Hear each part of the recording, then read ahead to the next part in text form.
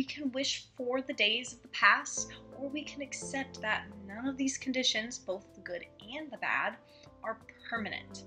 We have received blessings and grace that we didn't have to work for and could never have earned.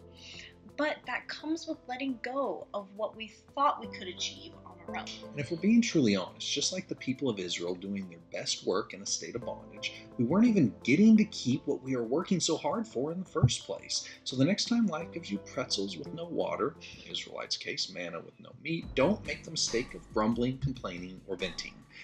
This is the moment to thank the Lord for what He has done, what He's continuing to do, and to pray to Him for what He will do. It's hard, I, I know it is. I'm tempted to complain about every minor inconvenience, Oh. as well as the devastating setbacks that we have.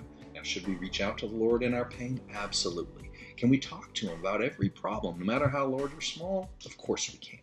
We should bring every one of our requests to the Lord, but we must do it with a grateful heart. You know, the wait for our Xbox Series X just gotten a little bit longer. The opportunity for that Halo Infinite Edition, well, maybe it has disappeared.